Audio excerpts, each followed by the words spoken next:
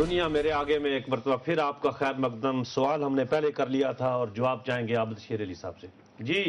जी, मुश्ताक भाई, मैंने भी आपकी भी गुफ्तु सुनी और नजीर, नाजी साहब की भी गुफ्तु सुनी। मुझे एक चीज़ पर बहुत दुख होता है कि जब हम सुबाई सुबाई सुबाइत का तसब देने की कोशिश करते हैं सूबों का नाम लेते हैं। देखिए पाकिस्तान किसी एक सूबे के नाम पर नहीं बना। पाकिस्तान एक इस्लामी जमहूरिया मुल्क है जो पाकिस्तान की सत्रह करोड़ आवाम के लिए बना था। तो मैं समझता हूँ कि इसमें शिद्दत क्यों नहीं आनी चाहिए और इसमें भरपूर शिद्दत आएगी। हमने करारदाद इस पर मंजूर की हुई है नहीं आबद शेर अली साहब मैं आपसे माजरत चाहता हूँ करारदाद पाकिस्तान में हमारे यूनिट्स की बात की गई थी सर, सर इसलिए इस वजह से सुबाई जो है खुद मुख्तारी और उनकी अपनी पहचान ये करारदाद पाकिस्तान। नुसर भाई आप भी बड़े सीनियर माशाल्लाह तजिया निगार हैं और हम आपसे बहुत मुतासर होते हैं। लेकिन आप मुझे बताएँ कि क्या आप चाहेंगे कि जो पाकिस्तान की तरक्की की राह में रुकावट हो जो पाकिस्तान की आवाम की खुशियों में रुकावट डालता हो तो क्या ये आपका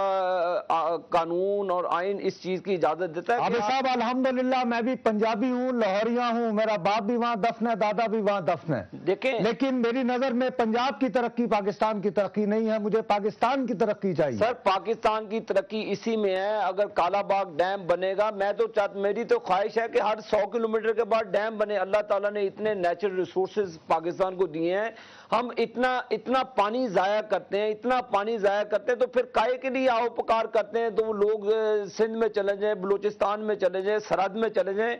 18 18 19 19 घंटे की लोड शेडिंग लोगों को सड़कों पे ले आई, लोग बेरोजगार हो गए, आपकी पाकिस्तान की इंडस्ट्री बंद होगी। फिर काय के लिए आओ पुकार करते हैं? काय के लिए ये फिर इतनी इतनी बड़ी तकरीरें करते हैं? फिर काय के लिए एम क्यू एम वॉकआउट करती है जी कि बिजली की कीमतें बढ़ गई? हम वॉकआउट कर देंगे। आप लॉजिक दे कौम को। ये मैं समझता हूँ कि सिर्फ़ फ्यूडलिज्म है जो सिंध में और ये वडेराइज्म और जो जो सरदारी है इन, इन ये ये ये कंट्रोल करती है। अवाम को तो आज तक इन्होंने तीनों सूबों में दिया क्या है? अवाम तो बेचारी महकूम अवाम है पिस रही है। ये अब हमारी रिस्पॉन्सिबिलिटी है कि आ, आ, हम तो चाहते हैं कि इसकी पब्लिक डिबेट कराएँ। ये बिल्कुल पब्लिक डिबेट ही हो रही है ये उसी का हिस्सा है लेकिन आप आप चाँद बाग डैम पे जब आप फोकस करते हैं तो बाकी सूबे जो है वो इस मामले में तहफात का शिकार हो जाते हैं मेरी, मेरी, मुश्ताक भाई बात बाकी भी है। अरबों रुपया आपने पाकिस्तान का अरबों रुपया इसकी फिजिबिलिटी रिपोर्ट बनाने पर लगा दी। पिछले तीस पैंतीस सालों पर आप यही रोना रो रहे हैं कौम का। आप आप इंडिया को देख ले पाकिस्तान का दरिया रोकर उन्होंने डैम बना लिया। वो हर मुल्क अब ऊपर की तरफ़ जा रहा है दुनिया चाँद की तरफ़ जा रही है। हम आपस में अपनी नफरत के नफरतों में उलझे हुए हैं हम अपनी लड़ाइयों में उलझे हैं।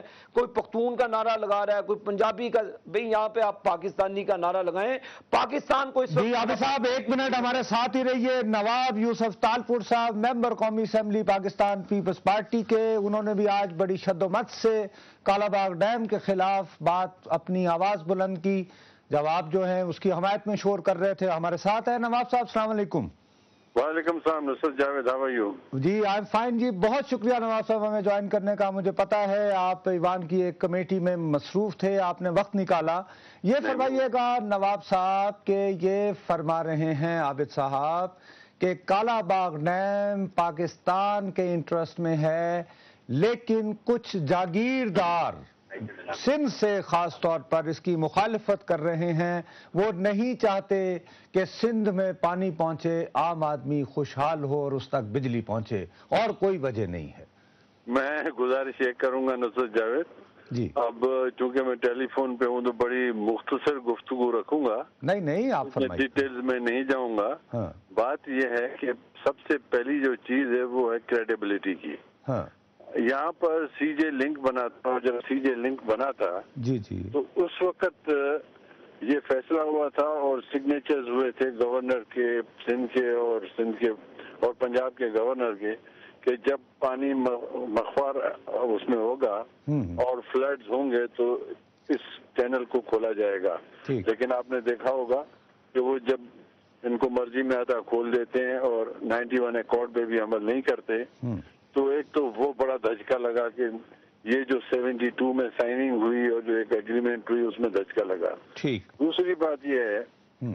कि कोई भी डैम तब बनता है जब पानी की अवेलेबिलिटी हो। अगर ये आप रिसर्च देखोगे पानी की अवेलेबिलिटी की तो कहते हैं कि कोई भी डैम बनेगा हम्म। तो वो दस साल में एक मरतबा भरा जाएगा। और ये भी जो मैं आपको स्टडी बता रहा हूँ ये भी काफ़ी साल पुरानी स्टडी बता रहा हूँ इस वक्त आप अगर देखोगे हम्म, कि अभी जून का मिडिल है हाँ, यानी कि अब तकरीबन जुलाई के बाद अगेन मौसम जो है वो ठंडाई की तरफ़ जाएगी। और जो तरबेला डैम है वो डेड लेवल पर है। हम्म। अब जब तरबेला डैम ही नहीं इसमें पानी आता ये नहीं भरती। तो और किसी चैनल को नवाब साहब वो पीछे एक झील बनी हुई है। झील बनी हुई इस वजह से डेड लेवल पे है। पूरा एक हुंजा उसका जो एक अच्छा जी नवाब साहब आप एक मिनट लाइन पर रहिएगा। आबिद साहब देखिए दो बड़ी इंपॉर्टेंट बातें जो हैं वो की हैं तालपुर साहब ने। एक तो वो ये फरमा रहे हैं वही बदअहदी वाली वाली बात और ये कि ट्रस्ट वाली बात कि माजी में जो पानी के तकसीम के माहदे हुए हैं सिंधी हमारे भाई जो हैं महसूस करते हैं कि उन पर अमल नहीं होता जो मैं नाजी साहब से भी अर्ज़ कर रहा था। चलें उस बात को एक, तर, एक तरफ़ रखें जो दूसरा वो एक टेक्निकल बात कर रहे हैं वो कह रहे हैं कि तरबेला जो ऑलरेडी डैम है वो नहीं भरा जून में तो कालाबाग डैम बना तो लोग पानी कहाँ से लाएँगे? उसके लिए उस पर आपके पास कोई स्टडी है? देखिए नुसर साहब, मैं समझता हूँ कि ये हम बदहदी आपस में नहीं, हम ये बदहदी पाकिस्तान के साथ कर रहे हैं।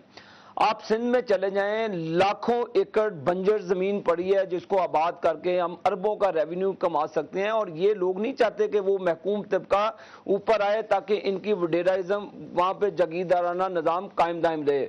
जहाँ पे आप स्टडी की बात कर रहे हैं, ये ये ये मुझे लॉजिक समझ नहीं आया जी कि तरबेला बढ़ गया, कहीं कई मरतबा ये प्रॉब्लम्स आ जाते जब आपके पास रिज़र्व ही नहीं है, पानी को पानी के रिजर्वायर्स ही नहीं है, कोई डैम्स ही नहीं है। तो अब जो पानी का खराज होता है जो समंदर में फेंक देते हैं जो, जो जाता है पानी तो जब आपके पास पानी के रिजर्वायर्स ही नहीं है तो फिर ये बातें तो बड़ी आसानी से ये कर देते हैं। तीन चार मरतबा हुकूमतों में आए हैं। आप आप मेरे साथ चलें ट्रेन में बैठें। इनकी लाखों एकड़ जमीनें बंजर पड़ी हैं और ये इन्हीं वडेरे वडेरों की मलकियत है। ये नवाब साहब आप बटेरे जो है अपनी लाखों एकड़ ज़मीन को बंजर क्यों रखना चाहते हैं? नहीं सही बड़ा सीरियस नहीं, नहीं, ये- ये और फिर भी आपको वोट दे देते हैं आपके लोग हाँ। मेरे को पूरी सिंध में ये तो लाखों एकड़ कह रहे हैं। मैं कहता हूँ कि पाँच हज़ार एकड़ भी ज़मीन किसी की दिखा दे तो मैं सारी चीज़ों से हाथ उठा जाऊँगा। नहीं, बंजर की बात कर रहे हैं। बंजर की बंजर जज्बाती अंदाज कह रहे हैं जागीरें तो खत्म हो गई थी पता नहीं कब आज कौन सी जागीर है यहाँ पर? और उसके बाद जब भुट्टो साहब ने जो लैंड रिफॉर्म लाए थे उसके बाद 200 एकड़ से ज़्यादा किसी के पास ज़मीन नहीं है। मुझे कोई एक आदमी दिखा दे।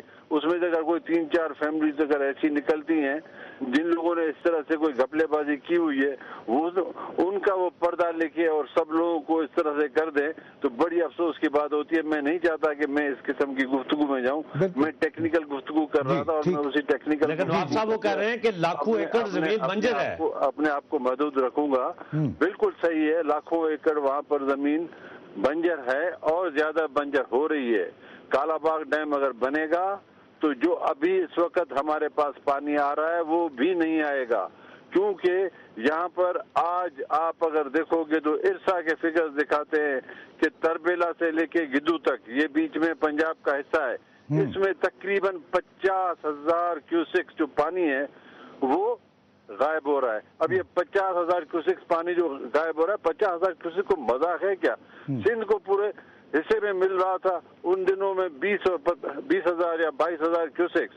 और ये, ये इतना पानी जो है वो गायब हो रहा था। अब जब इतना पानी गायब हो रहा था और कालाबाग डैम बनी नहीं कालाबाग डैम के इर्द गिर्द नहरें बन चुकी हैं तो हम समझते हैं कि उनको ये डैम चाहिए ताकि वो वो अपनी नहरें बनाएँ और जो हेड एरियाज़ है उसमें अपना पानी करें।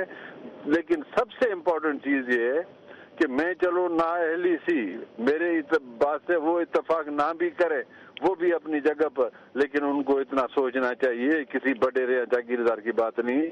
तीन provincial assemblies provincial assembly of frontier provincial assembly of Sindh provincial assembly of frontier unanimous resolution pass किए हुए हैं। एक मरतबा नहीं कई मरतबा कि हम इस तो उनकी राय का एहतराम होना चाहिए। नवाब साहब आपका बहुत बहुत शुक्रिया। आपका बहुत बहुत शुक्रिया। की बात करनी है और consensus के हवाले से अभी साहब हम इस तरफ़ आएँगे इसी बात के पे ऊपर जाएँगे और फिर कंसेंसस की बात करेंगे। आबिद शेर अली मेंबर नेशनल असेंबली से नाजरीन हाजिर होते हैं एक वक्फे के बाद।